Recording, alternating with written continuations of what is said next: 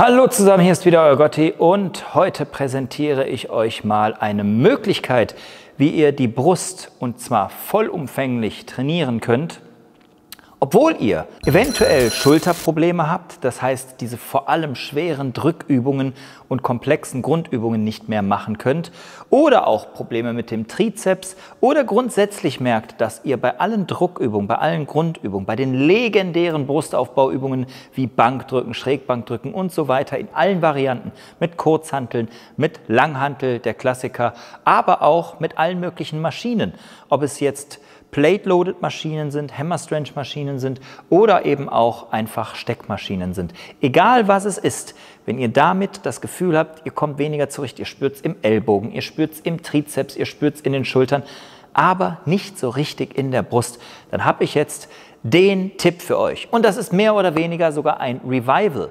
Wir nutzen jetzt mehr oder weniger zwei Dinge, machen wir in diesem Video. Wir nutzen jetzt eine altbewährte Technik von dem legendären Mike Menzer und dem Heavy Duty Training oder beziehungsweise auch eine Hit-Technik, um zu schauen, was sie uns bringt, wenn wir sie mal in ein anderes Feld transportieren. Weil viele von euch fragen sich ja ständig, ist Hit das Training für mich?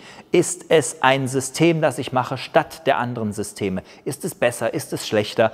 Aber eine Lehre, die sich durch all meine Videos zieht, ist ja, dass es aus jeder, fast jedem System und jeder Training, Trainingsart etwas gibt, was man sich rausnehmen kann für sein Training und für angepasste Situationen.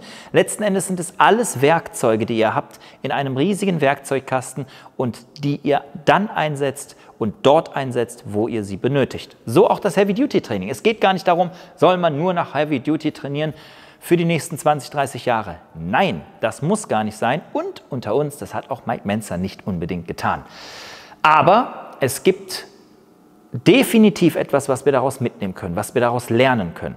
Und eins davon möchte ich euch heute mal an diesem Beispiel hier zeigen, nämlich an der Butterfly-Maschine, gerade wenn es um die Brust geht. Dadurch, dass es eine Isolationsübung ist, haben wir sowieso schon etwas weniger Belastung, weil vor allem weniger Gewicht auf so manch ein Gelenk. Das bedeutet, dass wir vor allem in den Ellbogengelenken, weil die sich kaum bewegen müssen, etwas weniger Belastung haben und natürlich grundsätzlich weniger Belastung auch auf die Schultern, weil wir nicht so viel Gewicht benutzen können.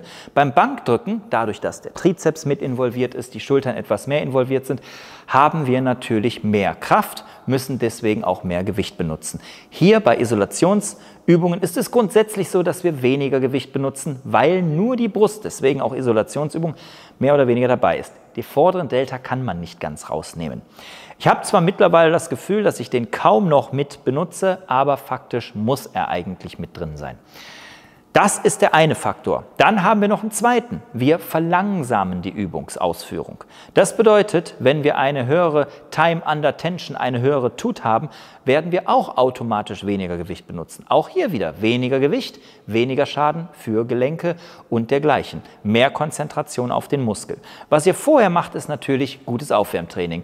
Zum Aufwärmen gibt es schon Videos auf diesem Kanal. Schaut gerne vorbei. Schultern gut aufwärmen und gerne auch dann spezifisch schon mal die Brust aufwärmen. Das könnt ihr machen, indem ihr euch von 30 Wiederholungen runterarbeitet beim Butterfly, bei der Maschine, wo ich gerade bin, bei der fliegenden Maschine und dann zwei, drei, vielleicht sogar vier Sätze davon macht, dass ihr wirklich einen Pump in der Brust habt und dann geht es los.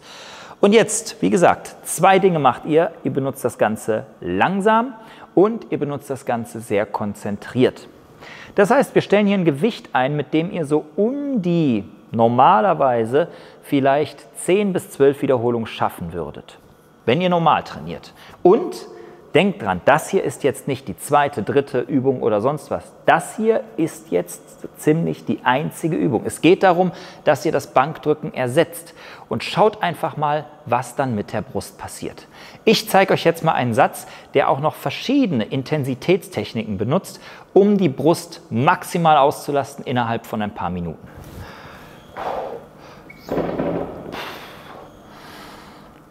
Wenn wir ganz langsam vorgehen, habt ihr auch noch mehr Kontrolle über den Körper. Das heißt, ihr müsst das Gewicht so niedrig einstellen, ich fusche jetzt mal halt hier fest, dass ihr diese Kontrolle auch habt. Das unterschätzt nicht. Das Gewicht wird echt wenig sein.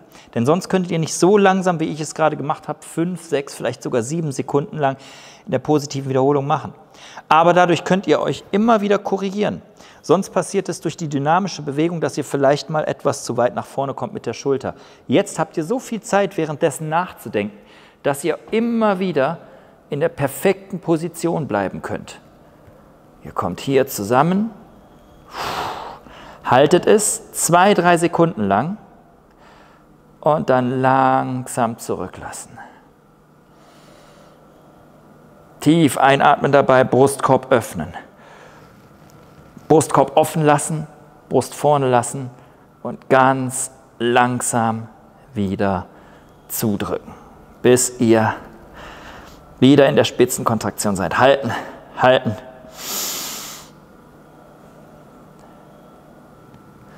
So, und ich spule jetzt mal ein bisschen vor und spiele ein bisschen.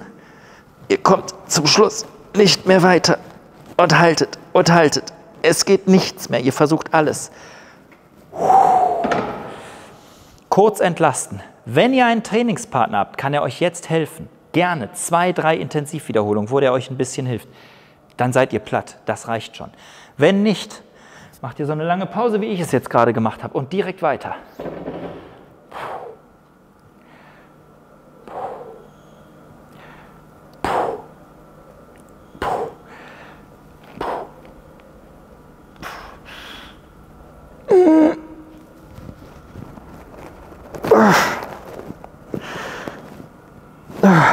Es wird höllisch brennen, aber trotzdem langsam runterlassen, ganz langsam. Ah, dieses Brennen heißt es zu bekämpfen. Und jetzt Drop Set. Ich habe so auf zwei Drittel runter gemacht und das Ganze wieder von vorne.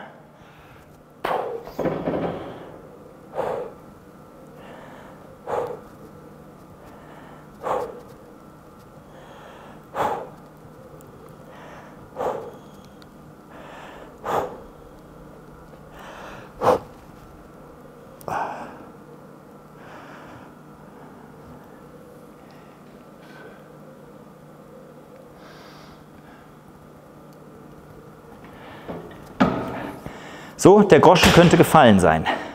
Jetzt könnt ihr folgende Techniken auch noch benutzen, um einfach besser reinzukommen. Es geht darum, maximal euch in den Brustmuskel einzufühlen. Ihr seid die ganze Zeit mental da drin, hier vorne in der Spitze. Spürt ihr ihn mehr brennen? Gut. Spürt ihr ihn weniger brennen? Nicht so gut. Das heißt grundsätzlich nochmal im Schnelldurchlauf Schulter nach hinten und nach unten, Brust raus, und die ganze Zeit draußen lassen, sodass die Brust auch wirklich vorne ist, nicht die Schultern vorne sind, sondern die Brust vorne ist. Und so macht ihr die Bewegung. Das Ganze so einstellen, dass ihr die Hand auf Schulterhöhe, na, kurz unter Schulterhöhe hat. Eine Hand unter Schulterhöhe, hier vorne und nicht irgendwo hier oben. Das sollte eigentlich so grob eure Position sein. Und dann könnt ihr auch Folgendes machen. Ihr könnt am Anfang, am Ende, wann auch immer, wenn ihr hier vorne schon seid, nach 7, 8 Sekunden, auch gerne mal nur ein bisschen zurückgehen und eine Teilwiederholung machen. Wieder in die Spitzenkontraktion. Und eins. Und zwei. Und drei, dass ihr hier vorne bleibt. Spielt ein bisschen rum. Wenn ihr es in der Mitte besser fühlt, macht es mal in der Mitte. So, dass ihr durchgehend das macht, davon um die sechs, acht Wiederholungen hintereinander schafft, mit dieser Time under Tension, mit dieser Zeit, wirklich acht, vielleicht sogar zehn Sekunden aufwärts, dann ganz langsam zurück. Drop-Sets mit einbaut und so weiter. Macht davon vielleicht insgesamt drei Durchgänge und dann wird eure Brust so schmerzen. Wenn ihr das nicht erreicht habt, dann habt ihr irgendwas falsch gemacht, dann müsst ihr noch besser reinkommen. Dann sollte sie so schmerzen, dass ihr eh keinen Bock mehr habt und dann reicht es auch. Probiert das mal aus. Das ist ein einziger Satz, ja, gut, man ist ein Kombinationssatz, sind Intensivwiederholungen drin. Aber mehr oder weniger ist es auch nur diese eine Übung. Und das sollte es gewesen sein. Oft ist es so, wer das richtig trifft, der hat zwei, drei Tage Muskelkater, wie nach einem kompletten Brusttraining. Und genau das ist die Aussage von Mike Menzer. Mehr ist gar nicht nötig. Da fragt man sich ja oft, wozu dann überhaupt noch eine Dreiviertelstunde die Brust trainieren mit 10 bis 20 Sätzen, wie es viele machen. Ja, und das ist eben ein Indiz dafür, ist gar nicht nötig. Jetzt werden damit manche besser aufbauen und manche schlechter aufbauen, aber alle werden etwas über ihren Körper lernen. Alle werden etwas darüber lernen, wie der Muskel arbeitet. Und alle werden ihren Körper einen Schock versetzen, egal ob sie während dieses Schocks schon aufbauen oder erst sechs Wochen später wieder. Alle werden ihrem Körper etwas beibringen, nämlich so eine Muskelspannung zu halten. Und das solltet ihr auch mal im Fokus sehen. Manchmal macht man einen Trainingsplan, innerhalb dessen man weniger aufbaut, aber wodurch man danach wegen dieser anderen Reizsetzung wieder umso mehr aufbaut, entweder mit dem alten Trainingsplan oder mit einem ganz anderen. Sowas nennt sich auch ein Makrozyklus. Es soll nicht zu kompliziert sein. Eigentlich geht es ja darum, es weniger kompliziert zu halten. Ihr schafft es in fünf Minuten, die Brust komplett zu trainieren. Und wie gesagt, es ist nicht ein Konkurrenzsystem.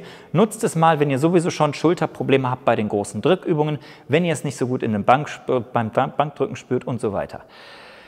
Wenn euch so ein Video gefällt, Lasst es mich wissen und ich bin sehr auf eure Erfahrung gespannt. Schiebt es mal ein, aber nicht als zweite Brusteinheit oder sowas. Seid so mutig. Ich kann immer nur wieder appellieren, seid so mutig und lasst das Brusttraining sausen. Wisst ihr, was die meisten von euch tun werden? Die machen diesen einen Satz, sind total KO, aber dann kommt das schlechte Gewissen. Das war jetzt nur ein Satz, sonst mache ich doch zwölf oder 15 Sätze für die Brust. Ach komm, zwei Übungen mache ich noch hinterher, ist ja nicht so schlimm. Dann ist das nicht so das wahre Experiment. Geht diesen Satz genauso an, danach gibt es keine Brust mehr. Und holt alles raus, quält euch, killt sie damit.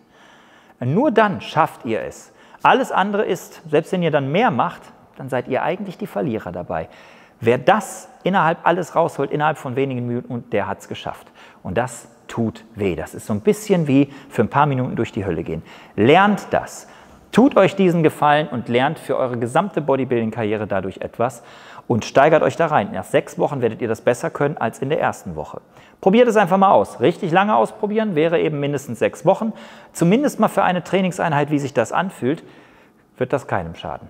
Abonniert den Kanal, verpasst kein Video mehr, schaut euch mal die anderen Videos an, lasst mir einen Kommentar da, wie euch diese Übung gefallen hat und was es euch bringt. Und wenn ihr mehr dazu wissen wollt, wenn ihr auch mal andere Übungen damit haben wollt, schreibt es in die Kommentare. Und wenn ihr jetzt mal mehr über Intensitätstechniken erfahren wollt, dann schaut euch direkt dieses Video hier an. Direkt weiterschalten. Dort lernt ihr mehrere Intensitätstechniken kennen. Abgesehen von der Intensivwiederholung von einem Partner, Dropsätze, Supersätze und auch Pausen, Reduktionssätze und so weiter. Also im Prinzip alles, um maximal alles rauszuholen. Direkt weiterschauen.